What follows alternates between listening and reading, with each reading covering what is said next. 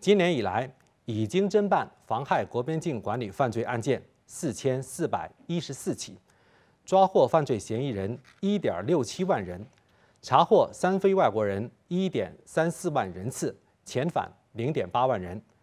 查缴枪支五百六十五支子弹一万余发缴获毒品一点八五吨抑制毒物品四十一点四七吨。